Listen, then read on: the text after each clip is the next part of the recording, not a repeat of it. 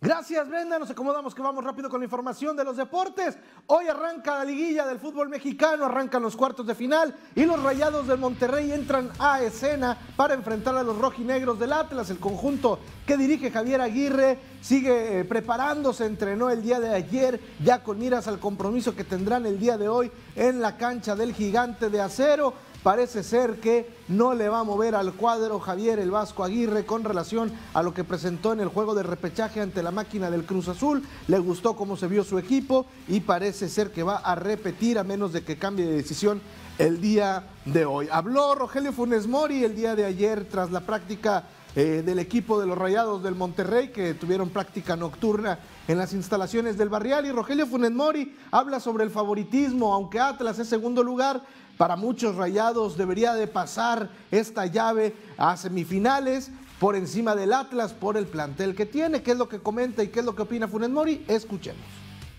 Bueno, sabemos que somos un equipo competitivo, o sea, desde que me tocó llegar acá a Monterrey, eh, esa es la, idea del club, ser protagonista de todos los torneos. Eh, estar en liguilla siempre y, bueno, sabemos que nos vamos a enfrentar a un Atlas que hizo un torneo muy bueno donde eh, hicieron un, gran fútbol, hicieron muchos puntos y, y bueno, sin duda que nosotros nos ponemos nos ponen como favoritos porque como te digo somos un equipo fuerte, un equipo que tiene muy buenos jugadores y, y la exigencia es la que tenemos nosotros y la que nos exige el club es estar a la altura.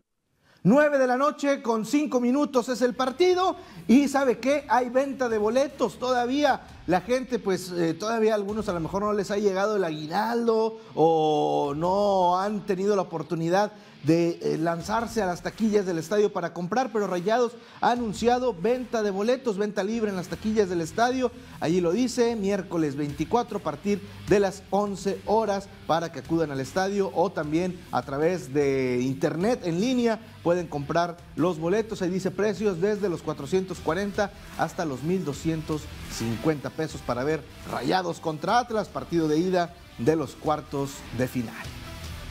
Y bueno, también hay encuentro de, del América contra Pumas, es el otro partido de ida de la llave de cuartos de final. El equipo de Pumas el día de ayer hizo día de medios, atendió a, los compañeros de la prensa que se dieron cita en las instalaciones del equipo universitario. Ahí vemos con las medidas necesarias por lo del COVID, hacia distancia, más de un metro y medio de distancia, el jugador de los reporteros, pero pues atendieron a los medios de comunicación y el América pues entrenó también con miras a este compromiso importante de cuartos de final, clásico capitalino. ¿Qué es lo que opina un legendario del América, Cuauhtémoc Blanco? Se le preguntó sobre, pues el América es favorito, no al título, primer lugar, ganó la mayoría de los partidos y esto es lo que opina Cuauhtémoc Blanco.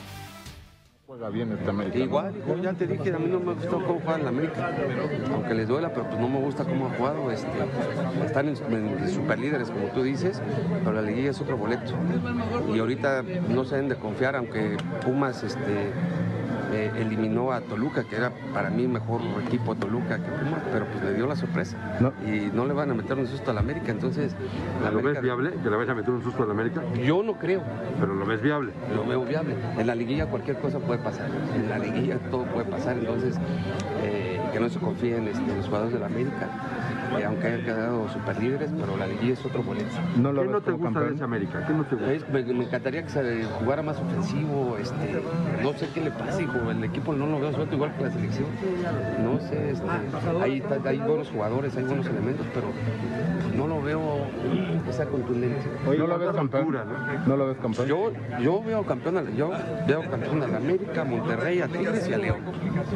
Como todos en la liguilla hay sorpresas.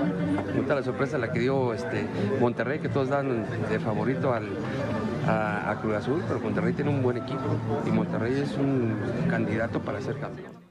Pues ahí está la opinión del Cuau, dice que no ve campeón al América, no le gusta cómo juega su equipo y pone como candidatos por encima del equipo de Cuapa a Monterrey, a Tigres y a León y por encima de estos a Monterrey para Cuauhtémoc Blanco, Rayados es su candidato número uno al título. Pero bueno, en Tigres está enfocados en lo deportivo, en avanzar la llave de cuartos de final pero también en la cuestión directiva se siguen moviendo, la cuestión de mercadotecnia lo está haciendo bastante bien y el día de ayer anunciaron una pues alianza con un nuevo patrocinador que va a dar mucho de qué hablar y es que como estamos viendo aquí en la pantalla, pues Tigres anunció una alianza con Bitso que es pues el nuevo patrocinador de Tigres, es una empresa dedicada a las criptomonedas que pues van a incluso a regalar un Bitcoin que tiene un valor, un Bitcoin tiene un valor de más de un millón doscientos mil pesos. Imagínese usted la cantidad de manera de lo que se maneja de dinero digital. No existe físicamente, todo esto es dinero digital. Incluso así piensan pagarle a los jugadores. Es lo que dice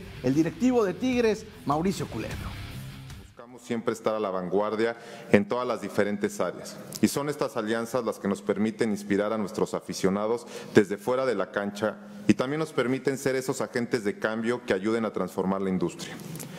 Bitso, es un honor darles la bienvenida de nueva cuenta. Estamos seguros que esta alianza será muy productiva en muchas áreas, porque nos permitirá explorar nuevas oportunidades para el club, tales como aceptar pagos en criptomonedas en la tienda virtual, taquilla así como ver la posibilidad de que nuestros jugadores puedan recibir su salario en cripto en un futuro.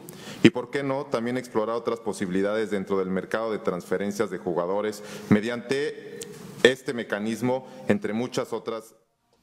Bueno, pues ahí Tigres innovando en todo lo que tiene que ver con lo futurista y este tipo de cosas. Y vamos a cambiar de información porque las Chivas el día de ayer anunciaron la salida de este hombre, Oribe Peralta, un jugador que pasó, ya no, ya no le digo ni siquiera sin pena ni gloria, o sea, pasó desapercibido por el Guadalajara. En 38 partidos metió solamente dos goles. 38 partidos fueron los que jugó, pero estuvo mucho más tiempo en el conjunto de, de Guadalajara. Viene, llegó procedente del América y los memes no se hicieron esperar porque decían en unos memes, eh, Oribe Peralta cuando estuvo en el América prometió que nunca iba a jugar con Chivas y pues lo cumplió, estuvo pero no jugó prácticamente nada, así se va Oribe Peralta, un delantero pues emblemático dentro del fútbol mexicano de selección nacional, pero que en su paso por las Chivas fue un rotundo fracaso.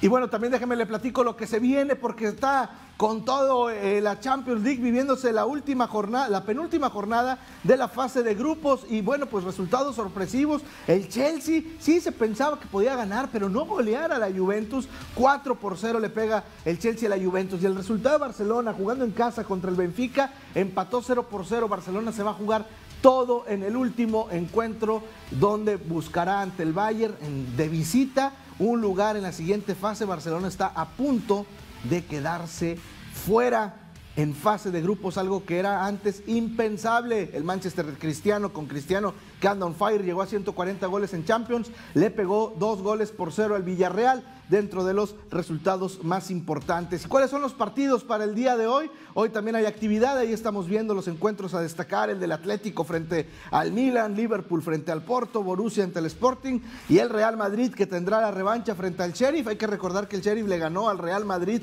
jugando el Real Madrid como local, ahora le toca al Sheriff recibir al conjunto merengue, así que pues el Real Madrid seguramente saldrá con todo a cobrar revancha de aquella derrota Inter Shakhtar de los partidos a destacar de este miércoles dentro de la Champions. Es lo que tenemos en la información de los deportes. Que tenga un excelente día.